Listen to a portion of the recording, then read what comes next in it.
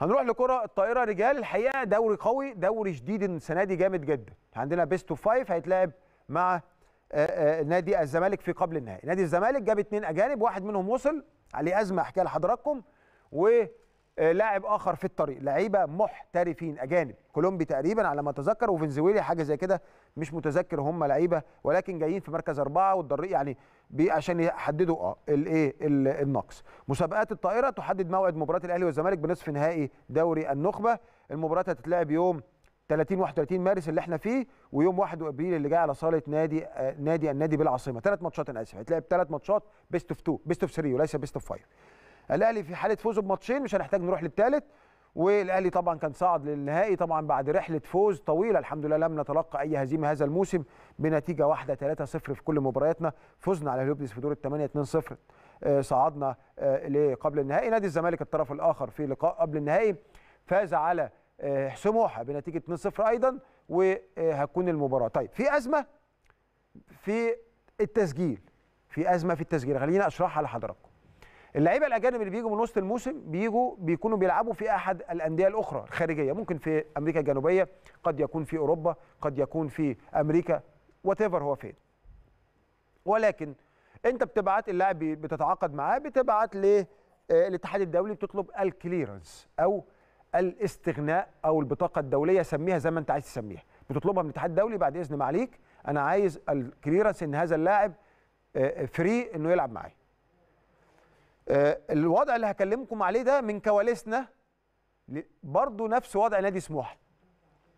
آه نادي سموحة جاب لعيب أجنبي والوضع ده بيتطبق على الاثنين ونادي الزمالك أيضا. فاللاعب ده لم تصل حتى الآن البطاقة الدولية بتاعته من الاتحاد الدولي ومع ذلك الاتحاد المصري سمح له بالمشاركة. هتقول لي إزاي؟ ماليش دعوة. ما أعرفش. سمعنا على صفحات ال social media سموحة بيتضرر. طب اترد عليه اتقال له طب ما انت عندك نفس الموضوع. طب اتحاد الطايرة إزاي يشارك يسمح للعيبة تشارك بدون الاستغناء. طب افرض الاستغناء ما جاتش هتعمل إيه في المباريات؟ افرض لأي سبب من الأسباب اللاعب ده كان عليه فلوس للنادي بتاعه. ما هو الاستغناء بتيجي إزاي؟ الاستغناء بتيجي إزاي؟ أنا ببعت للاتحاد الدولي من خلال الاتحاد بتاعي.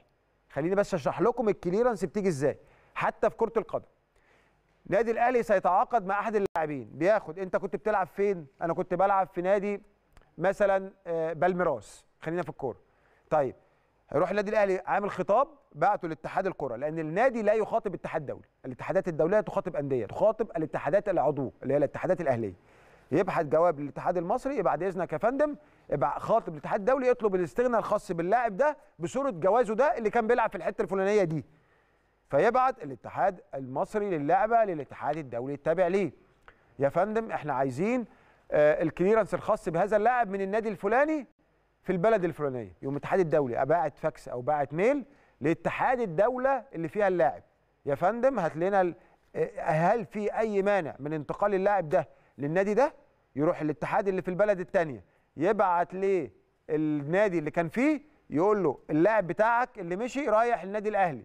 عندك مشكلة هنا بقى تيجي بقى المشكلة أو تيجي بقى ال- الاختبار.